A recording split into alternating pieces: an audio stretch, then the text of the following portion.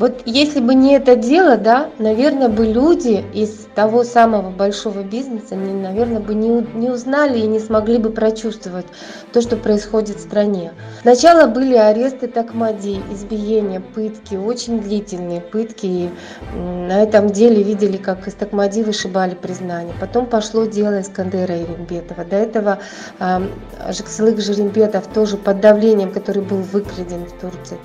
Вот. Но именно на деле Искандера Ерембетова, поскольку оно длится целый год, именно потому что боролась вся его семья, боролась очень серьезно, последовательно и тщательно.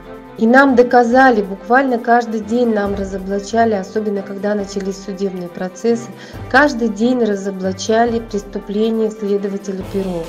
Искандер своей выдержкой разоблачил следствие, показал, что его пытали не взял на себя никакую вину, не оговорил никого. И он держится и держался очень мужественно. И те люди, которые с ним идут, тоже сейчас очень мужественно проявляют себя. Дима Пестов и Василина Соколенко.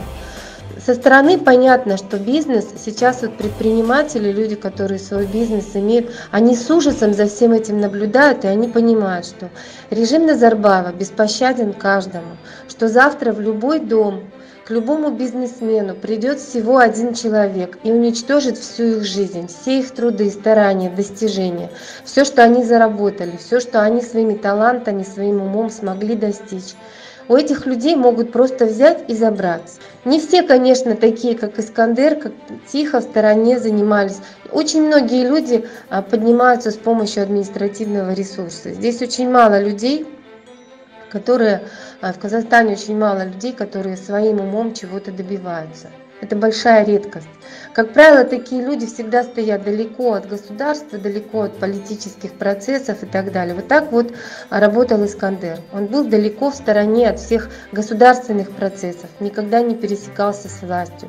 И даже те вот обвинения, которые ему выдвинуты, какие-то тендеры, ведь его арестовал антикоррупционный комитет, который должен заниматься чиновниками.